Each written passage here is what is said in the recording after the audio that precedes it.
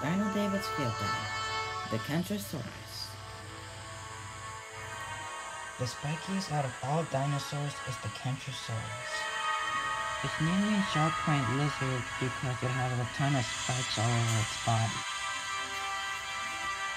The Kentrosaurus is a herbivore that lived during the late Jurassic period, over 145 million years ago.